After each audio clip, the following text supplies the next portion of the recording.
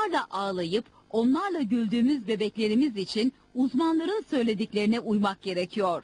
Zira onlar bizim hayat kaynağımız.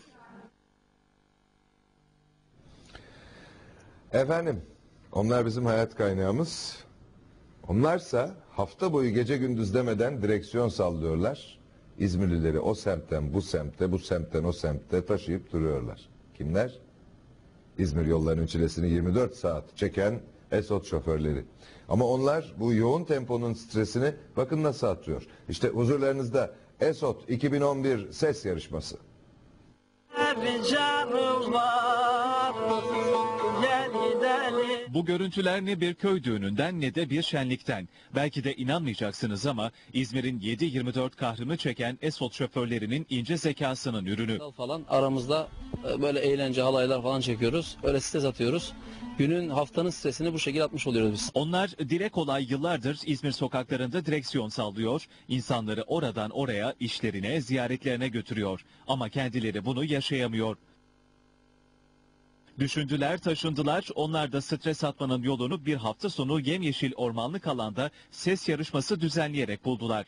Birliğine Canlar dostlar hoş geldiniz Yarışmacılar bir bir çıktı sahneye, türkülerini seslendirdi.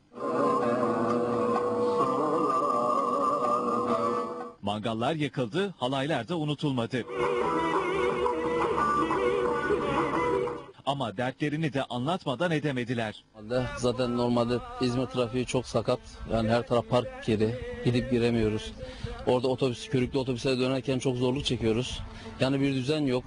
Ayrıca mesela yeri geliyor insanlardan fırça yiyoruz. Hani e, haklı olduğumuz halde hakaret işlettiğimiz şeyler oluyor. Ama biz İzmir halkına rica ediyorum şoförünü kollasınlar, şoförüne yardımcı olsunlar. Çünkü bizim işimiz çok zor, çok stresli. Canı bize emanet. Bizim moralimiz yüksek olması lazım ki biz onları en iyi şekilde en iyi şekilde götürüp getirelim. Bize destek olsunlar. İşte Esot şoförlerinin kendilerince bulduğu çare. Dileriz her şey gönüllerince olur. İzmir Büyükşehir Belediyesi Bayraklı'da denize hakim bir noktadaki 295 bin metrekarelik alan üzerinde kuracak.